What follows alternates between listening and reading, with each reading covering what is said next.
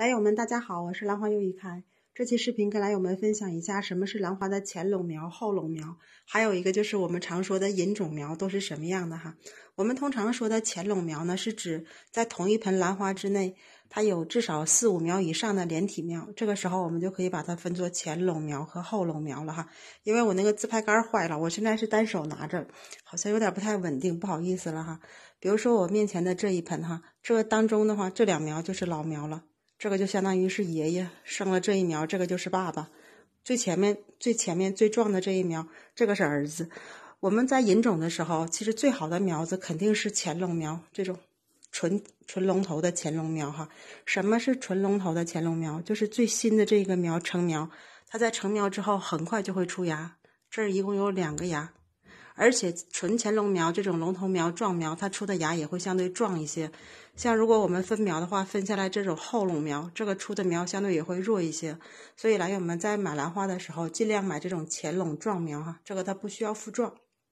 再给兰友们看一下什么是前垄子母苗哈，像这一种的，这个就是纯纯的前垄的子母苗，这个生机就特别好。我们看这个芦头这样。前垄的子母苗马上就出芽了，像这种苗子，我们分完之后很快就出芽，并且它出的芽会比较壮。这种呢是前垄的子母苗。再给来友们看一个后垄的子母苗，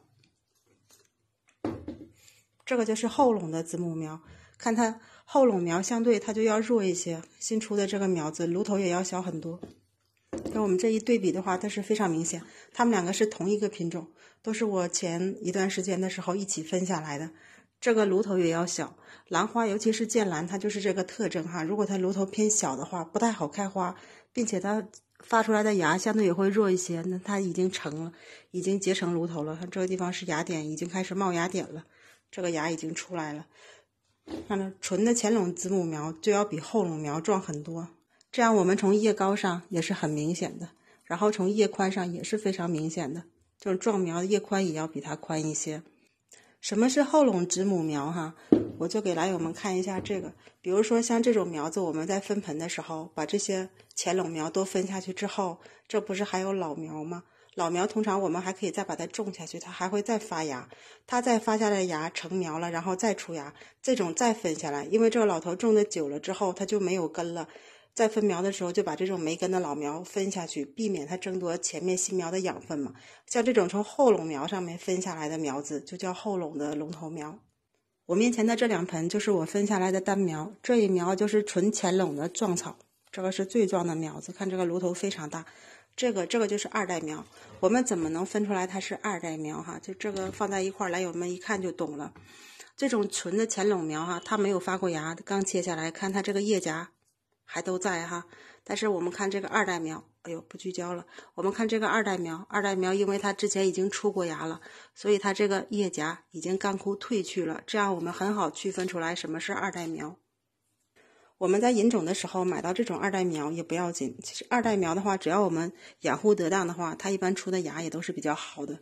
就是我们在引种的时候，最怕引到这种弱苗，像这种的话，在兰花上就称作引种苗了。它就不能算几代苗，它只能算作引种苗。这个叶尖已经退的差不多了，像这种苗子，它出的芽也会比较弱。就这个还好呢，这个是两苗我种在一起了。来友们以后自己分苗的时候也是，这种比较弱的老头苗哈，尽量的话就不要把它分的太单了，尽量种两苗种在一起。啊，出芽了，出了两个芽，就有两个小米芽已经出芽了。尽量不要把它分单了。如果这种老苗本身它根系就不太好，如果分的过单的话。它出那个新芽呀，也会很弱的。这样的话，还需要一个很长时间的复壮。比如说剑兰吧，如果是比较弱的，像这种单苗比较弱、根系又不好的，那么差不多要经过一个两年的时间复壮。我总跟兰友们说的复壮，复壮是什么意思哈？就比如说刚才我们看见这个芽，它成苗之后再出一代芽，这就是一个复壮的过程，主要是靠时间，没有什么特效药哈，说一代就能复壮，这个很难，尤其是苗子特别老的时候。咱们说的引种苗，一般也就是。经过几代发苗再退下来那个都没有根系的那个，一般称作为引种苗。还有像这一种的，这个都是前一段时间我分那个寒兰分下来的老头苗。这三个老头，三个老头，我就把它种在一个盆子里了。不然的话，如果把这种老头苗分单，出的芽会很弱，这个都不一定能出芽，不抛了。今天跟来友们分享的前龙苗啊、后龙苗还有银种苗哈，这些一般都是出现在价格略微高一点的品种上，就是价格至少也要过百以上的苗子，会分的比较仔细。比如说我们买这种银种苗的话，像我刚才拿出来这 状态特别不好的银种苗，那么如果和这种最最壮的乾隆壮苗比的话，那它们两个的价格可能是不止三倍以上哈。如果说这一苗一百的话，那么像这种苗子。这个三个头最多也就值五十块钱哈，就它们的价格差的还是挺多的。但是我还是比较建议来友们，如果入好一点的品种的时候，入壮苗哈。壮苗的话，它发苗率也是最高的，发苗也是最快的。像我们平时在市面上买几十块钱一盆的那种兰花，那个我们是不需要去分什么乾隆苗、后龙苗的，它基本上都像我面前这一盆这种，它是老中青三代都有的。就是当我们买那个价格过百以后，这个时候我们在买苗子的时候、引种的时候，最好跟商家跟他沟通的清楚一点。像这一种呢，就是比较壮的乾隆苗了，这个生机非常好，它出的芽也就会很壮。这个都是我秋天的时候分的。都已经出芽了，这个季节都在出芽。那么，如果这种价格比较高的，我们要是买到这种后垄的子母苗的话，那这个生机就差太多了，这就差太多了。所以，这个来友们在入草的时候就需要特别注意一点。这期的视频就跟来友们分享到这里，希望大家能够喜欢我的视频，再见。